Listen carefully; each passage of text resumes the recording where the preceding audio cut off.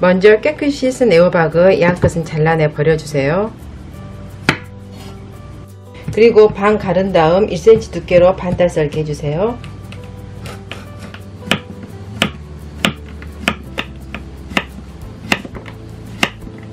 또 애호박만 넣으면 심심하니까 감칠맛을 더해줄 양파도 채 썰어서 넣어줄게요.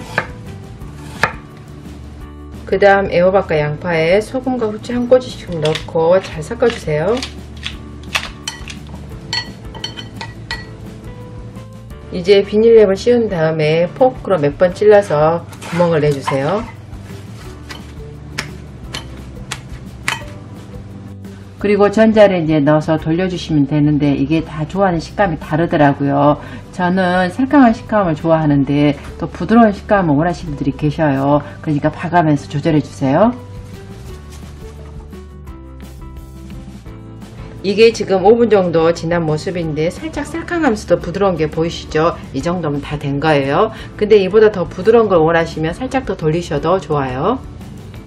그 다음 여기에 간을 더해줄 고춧가루와 간장 넣고 그리고 깔끔한 맛을 더해주기 위해서 현미식초도 살짝 넣고 또 매실청이 들어가면은 양파와 애호박이 없는 새콤달콤함이 있어서 좋더라고요. 그래서 살짝 넣어줄게요.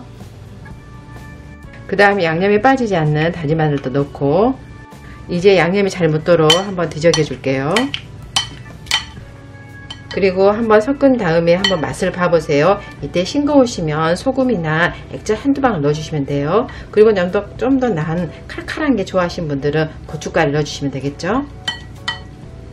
이제 마무리로 청양고추, 홍고추, 실파, 부순깨, 참기름만 넣어주시면 오늘의 요리 끝!